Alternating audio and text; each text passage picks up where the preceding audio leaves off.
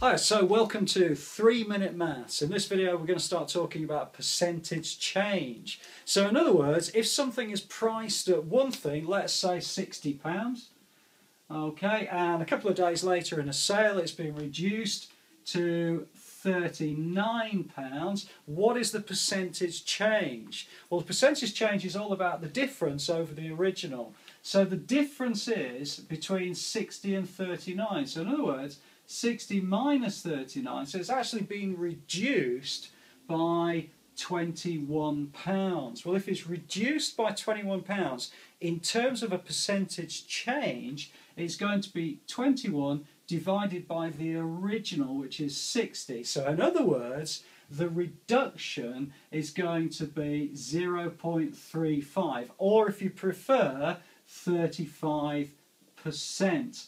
Okay, so this item has been reduced by 35% in order to get to £39. Let's take another example. So an item might be, say, um, £84 and it's reduced in this particular case by 35%.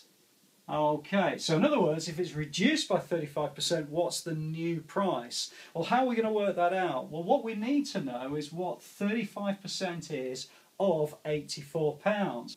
Okay, so what I need to do is calculate 35% of 84, and that's going to be as a fraction, 35 over 100, multiplied by 84. And like in the previous videos, I'm just going to reduce these and make them a little bit easier to calculate. So if I divide that by 4, I get 25. Divide that by 4, I get 21. I'm also going to divide those two by 5, so I'm going to get 5 there, and I'm going to get 7 there. So actually, my calculation, which is the direct equivalent fraction, is going to be 7 times 21 divided by 5. Well, that's going to equal 7 times 21 is 147 divided by 5.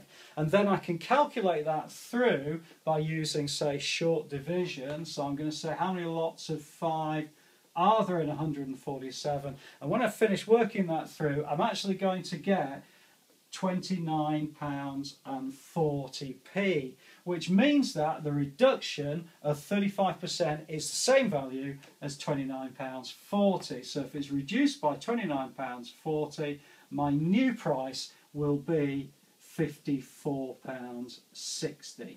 Um, I hope that's okay. Please have a look at the other videos. I look forward to seeing you inside the next three minutes.